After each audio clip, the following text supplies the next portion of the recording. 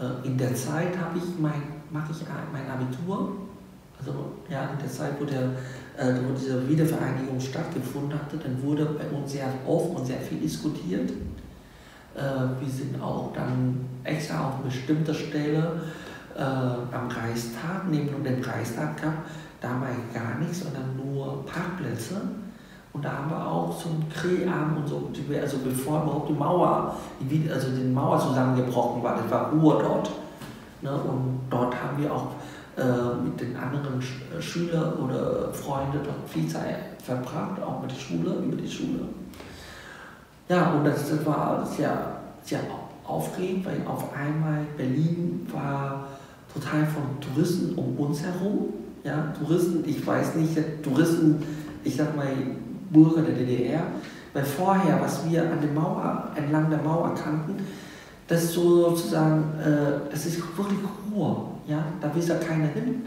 Ja, da steht eine Mauer ab und zu bei einfach Wachtürme, wo man rauf, also äh, so ein Gerüst, wo man raufstehen kann und die, also nach Ostberlin schauen konnte. Und auf einmal wurden alle Leute dahin. Wir haben, äh, wir haben erstmal nur wahrgenommen, was in den Medien war. Ja, ähm, weil da war wir auch politisch nicht so richtig interessiert. Also, ja, also als er angefangen hatte, dann sagt, okay, hier der Übergang A, der Übergang B wurde aufgemacht und wurde uns auf einmal wahr, dass diese Mauer nicht mehr existiert. Ja.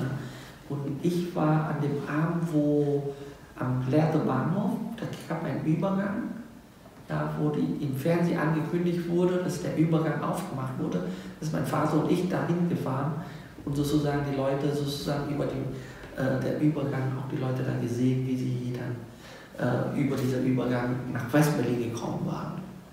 Ja.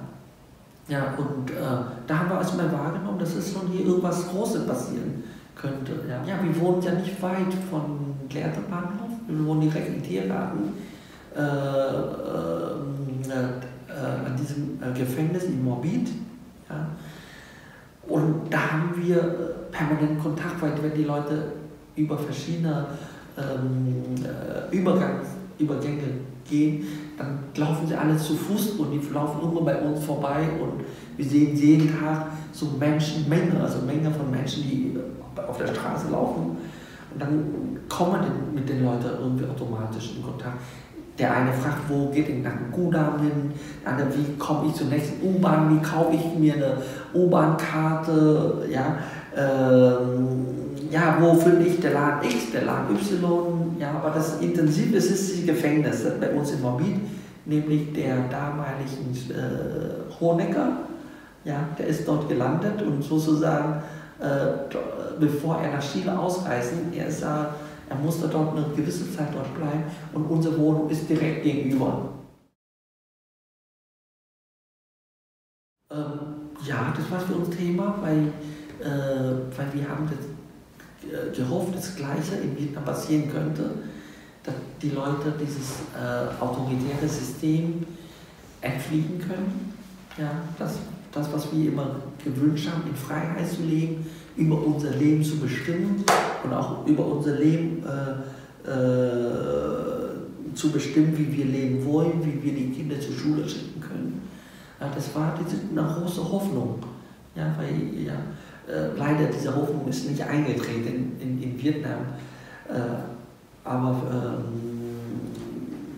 also, äh, ähm, aber das haben wir sehr oft diskutiert, weil in diesem Zuge kamen auch sehr viele vietnamesische Gastarbeiter in Ostberlin nach Westberlin. Und die haben noch nicht, die haben nicht gewusst, dass in Westberlin auch Vietnamesen gab, damals schon. Nur eine kleine Gruppe, aber trotzdem, die gab es schon. Und äh, ja, und die haben uns, äh, wir haben die Leute geholfen in der Übersetzung, weil wir, äh, weil wir hier in Westberlin doch äh, die deutsche Sprache besser sprechen können, weil du diese ähm, Betreuung vorher von dieser immer kleinen Gruppen, die Leute können äh, äh, im Vergleich zu den Vietnamesen als Gastarbeiter in der DDR, die können kaum Deutsch sprechen und, und die sind in diesem Zuge nach Berlin gekommen. Äh, äh, nach Berlin gekommen und dann in der Hoffnung, dass sie in Berlin-West bleiben konnte. Die wurden nicht zurück, damals wurden sie nicht, nicht in die DDR oder Ostberlin zurückgehen. Also mal die Geschichte von der Wiedervereinigung ist bei mir auf jeden Fall, äh, erlebe ich äh, sehr intensiv und habe ich auch sehr also wahrgenommen, wie die ganze äh, Veränderung in Berlin war.